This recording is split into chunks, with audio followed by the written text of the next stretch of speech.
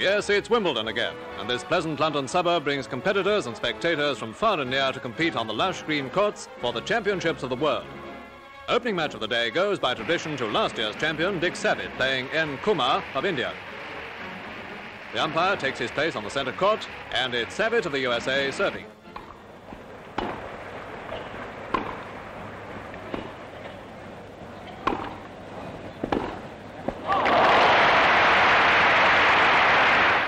It's Savitt again who wins 6-1, 6-2, 6-love.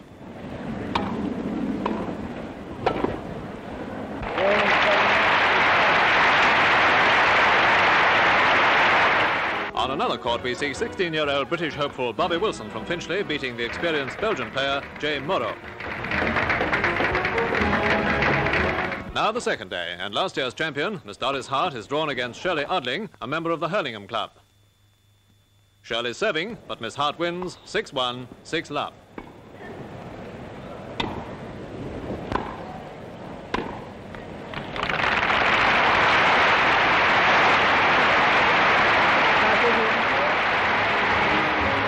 And here's the wonder American girl, Maureen Connolly, on the right, who, in spite of her injury, tested her skill against a Yorkshire player, Mrs. C.G. Moeller.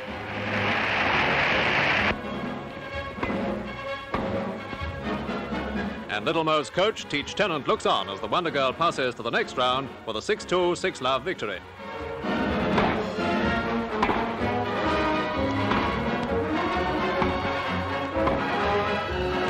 And so opens another Wimbledon season, bringing with it new stars from all corners of the world.